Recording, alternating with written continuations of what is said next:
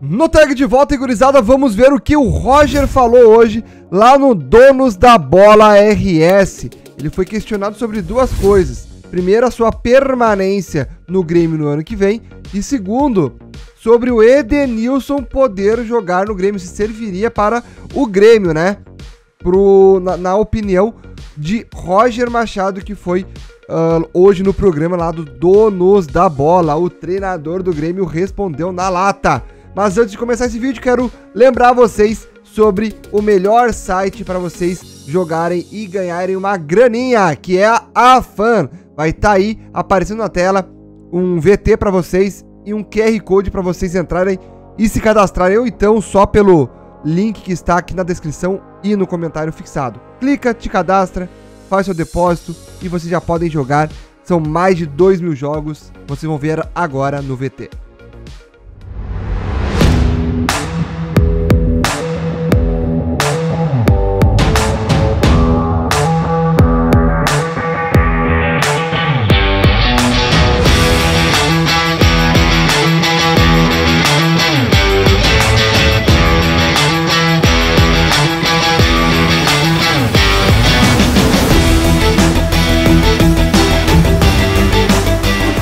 Primeiramente, gurizada, vamos falar sobre a permanência do Roger para 2023. Foi questionado pelo Meneghetti o seguinte hoje.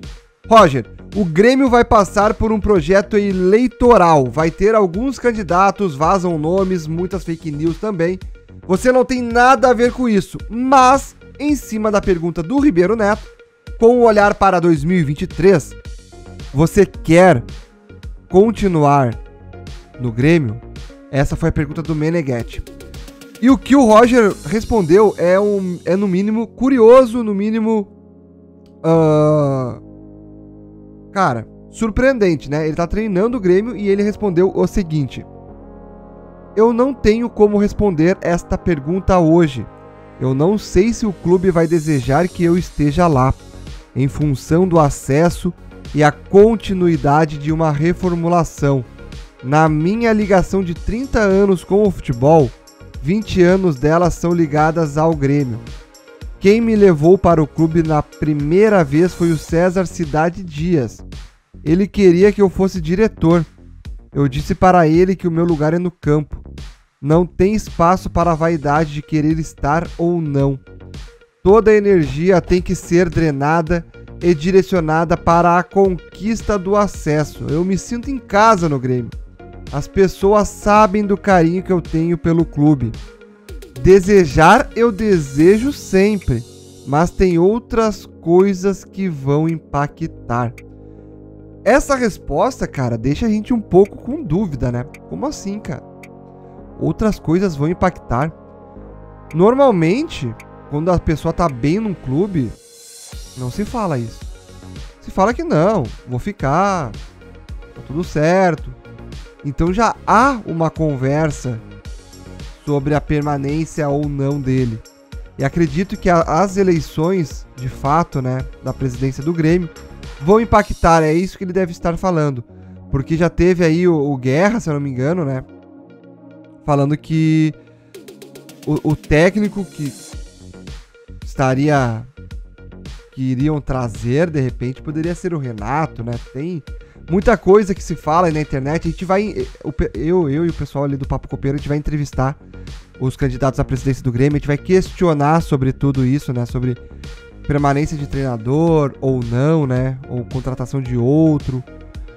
Uh, a gente vai questionar tudo isso lá no Papo Copeiro, que é o podcast do Grêmio, né? O podcast da torcida do Grêmio, que eu também faço parte. Então, por isso, ainda não tem como a gente saber o que, que de fato os treinadores, os candidatos à presidência querem se é a permanência do Roger, se é tentar o Renato, tentar algum outro nome. Então a gente vai saber isso é questionando os, os treinadores de fato mesmo. Os, os treinadores, não, os candidatos à presidência do Grêmio. E o Roger não está se sentindo confiante aí no Grêmio. Já deu para ver que ele, a, a, princípio, acreditamos aí que ele não vai continuar no Grêmio no ano que vem.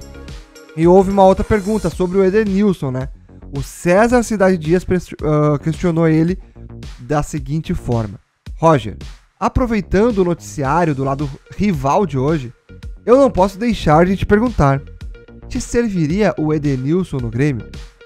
E o Roger sorriu e inteligentemente, cara, ele deu aquela, aquele sorriso maroto e falou de uma forma curta e direta: Ele é meu vizinho.